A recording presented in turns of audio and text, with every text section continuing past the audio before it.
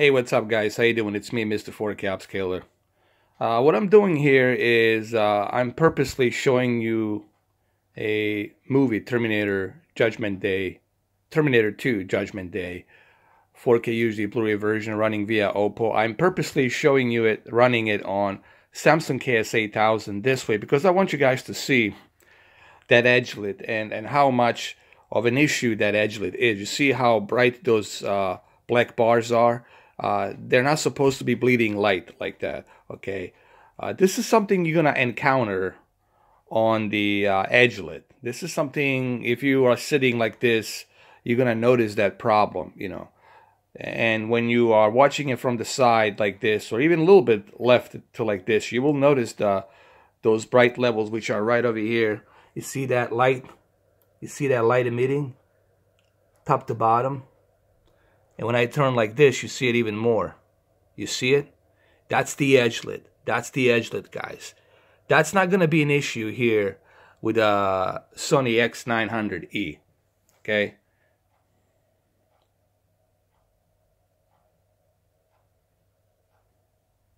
You see that edge lit down at the bottom? Right here? That light? Now, if I move to a uh, Sony X900E, you will not notice this uh, edge lit on this movie. So let me switch to X900E Sony, and I'm going to watch it from an angle like this, and you will see that you're not going to notice any of that light. Let's switch to uh, Sony X900E. So here we are, Sony X900E, and you see how those levels are so nicely uh, adjusted. Uh, deep dark levels are nicely adjusted. Here I am watching it from the corner and you can barely see that light. Sure, there's going to be some light here and there, but look how am I watching this TV from, a, from an angle like this and you can barely see it. So Sony X900E is giving you a much more better clarity. That's due to the one fact that it's using a full array of local dimming. And this is what you're getting with a full array of local dimming. I purposely put this TV in a dark room. So now it's even more darker. Yes, I went to a trouble to put in the dark room. And I'm watching it from an angle. And look how deep dark levels are. You're not getting any bleeding light here whatsoever. The black bars are as, as deep as dark as they can be. And if I if I watch it this way, it, it, it gets even better like from the center.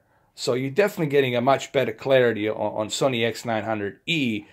Uh, here's my opinion. I have nothing against Samsung KS8000. I have the TV. But you got to watch that TV from the center at all times. And at night, when you turn the lights off, you're definitely going to notice that bleeding light.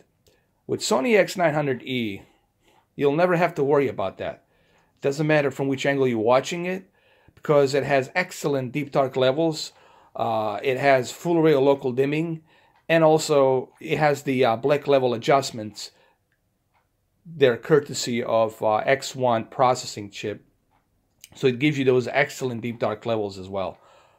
All right, and you will see a drastic difference when I move to a Samsung KS8000. You also have to keep in mind it's kind of hard for my camera to depict this, but that's why I'm bringing it closer like this. Okay, I'm using my GoPro Hero 5 1440p uh, camera. I turn off my low light so that way we can depict every tiny little detail of light. So I'm going to switch back to uh, Samsung KS8000 with this exact same scene of a movie and you will see uh, the bleeding light that you're going to see. So in about three seconds, let's do it. One, two, three. And the drastic difference. I mean, you see that edge lit, that edge lit bleed. You see that?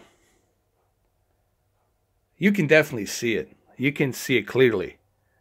You can clearly see it here on this television. Now, this is going to change once I move it to the center. Once I move it to the center, this is going to change. You see, once I go to the center, everything is fine. Everything looks good. But even when I move to the center, you can still see at the bottom. You see right here? Let me zoom in. You see that edge lit bleed? You see that bleeding edge lit right there? You see it? Now, this is the issue that you're always going to have with the edge lit. And this is why I'm not a huge fan of the edge lit. But that's the only sacrifice you're getting with Samsung KS8000. Uh, besides the edge lit, this TV has excellent peak brightness, excellent white color gamut, uh, but it, it, the edge lit is something, in my opinion, that's a, it's a big issue. That's gonna, you know, kill that experience, especially if you're watching it at night and you're sitting from left or right, uh, or if you have a guest. If you are watching this movie in a very bright lit up room or living room, you're gonna be okay. No one's gonna notice that, and I'm gonna show you that demo right now. Okay, so I turned on my lights. See, when you turn on the lights on, when you lit up the room, uh, I do have my lamp and everything. I turned it on. The light is on. You still notice it, but it's not to the point where it's like uh, the way it was before. You know, you still see it a little bit, but it's less noticeable when you have the lights on. But when you turn the lights off, you're definitely going to see it. The lights is off, and you're going to see it right now. See it right there? You see that light? It's still there. It's bleeding. And you're going to be fine. If you're watching it from the center, you're going to be okay. Okay? If you're watching it from the center, you're going to be all right. You know? But as soon as you move it to the left and right, uh, that's it. You see what happens? From the from the center of when you move it left and right, you see that bleeding light? You see it? That's what you get. That bleeding light right there. And you move to the center and you're okay. You know, but you can still, even from the center at the bottom, you can still see it. You can still see that top to bottom. And the reason I chose this movie because of the ratio and the black bars, because it truly shows up with these black bars. You can tell if the edge lit has that issue uh, top to bottom. And if I turn the lights on, you're not going to notice it here. You see, when it's a lit up room, when you lit when you lit up this room with light, then you don't notice it but you do get the benefit of that peak brightness. You know, uh, you don't notice it as much when it's in the dark. You will definitely notice that lit in a dark room at night. Are you gonna say, "Oh Jesus, look at this bleeding light top to bottom"? You know. So me personally, here here's here's a situation. Uh, I personally recommend uh, full array local dimming. Uh, TCL right now has 72 local dimming zones, and TCL honestly will give you that, that perfect deep dark levels for LCD with a really good price with Dolby Vision. You're going to get a decent uh, peak brightness. But um, if you want a really well adjusted TV with a little bit higher peak brightness, excellent processing chip, I would say Sony X900E is definitely a good uh, mid-range TV to go with. If you can reach out, go for uh, X 930E will which is going to give even more local dimming zones and much better processing and much better deep dark levels, meaning you'll be able to watch it from a, a different viewing angles much better. All right, so let's switch to X900E in about three seconds. One, two, three. So anyway, bottom line is this. Uh, if you want the deep dark levels, if you want to be able to watch this movie from any angle, then this is it. Uh, Sony X900E is definitely going to give you that. It's definitely going to give you that. There's no question about that. It's going to have much better deep dark levels. It's not going to be, let's see, this is what you want. It's as deep dark levels as you can get.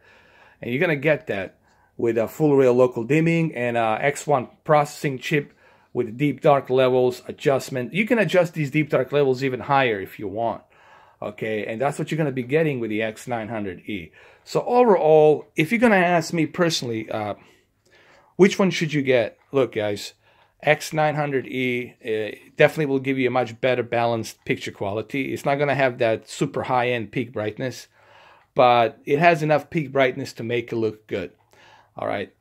The one issue with Samsung KS8000, uh, and I'm saying the KS8000, it's a bad TV. It's not a bad TV but you're going to have to deal with that uh, edge lit issue. Okay, you're going to have to deal with that edge lit issue whether you like it or not. You will be getting that peak brightness, which is excellent for HDR, and you're also going to be getting that full white color gamut, which is also necessary for HDR. So you're going to have a good HDR experience when you're watching it at the center.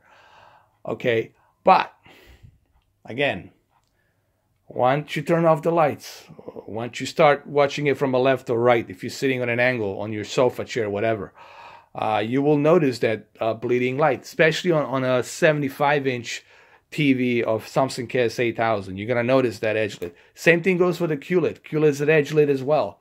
So this is the issue you're gonna be dealing with with the uh, edge lit TVs. Thank God that Samsung's not gonna be making any more edge lit TVs, and hopefully no one will ever make any more edge lit TVs. It's stupidest idea for LCD. It should be avoided. Full array of local dimming as as much as possible. Try to put these local dimming zones as many local zones as you can. Put them on the lcd led backlit tvs uh, that's the only way to avoid that bleeding light and that's the only way i think to to superbly get those deep dark levels adjusted. So there you have it guys. This is the uh, uh, comparison between edge lit versus uh, FALD, full array of local dimming. And uh, as you can see, obviously, full array of local dimming wins here versus the edge lit Samsung KS8000. So obviously, it's it's a clear and cut case. Edge lit sucks. Full array of local dimming, it's a must have for an LCD LED TV. If you're looking for LCD LED TV, you got to look for the local dimming zones. If that thing has like a or doesn't have full array local dimming zones, or if it has a, a low count of local dimming zones, uh, then don't buy it. Look for the ones that have huge ratio of local dimming zones and extra features like this Sony TV has. So yeah, Sony X900E definitely it's a highly recommended TV. If you can get it for a really good price like I did, you really can't go wrong, guys. Uh, you're not going to be disappointed with this TV. This TV has a lot of features built in into it, which I'm going to cover under the official review, along with the uh, Google Chromecast, Android TV. There's a truckload of features that this TV has, besides just a full array of local dimming and the X1 processing chip. All right, so that's something you need to take in consideration. And it's going to work really great with your 4K player, with the Oppo, with the Xbox One X. It's gonna you're definitely going to be experiencing the 4K HDR experience. All right, you're going to be getting that great 4K uh, cinema and gaming HDR experience. There's no question about that. But if you go with the 930e, you're going to get that Dolby Vision. So let's just keep that in, in check. So there you have it, guys. I showed it to you. You've seen it. Uh, this is really clear and cut case. It's a no-brainer. Obviously, full array local dimming wins big time over edge lit. And everybody, even manufacturers, know that the edge lit, it's garbage. And the full array local dimming is the way to go. All right, guys. Thank you for watching. Have a good one. Take care. And don't forget to check out my live stream tonight at 5 p.m. Thank you.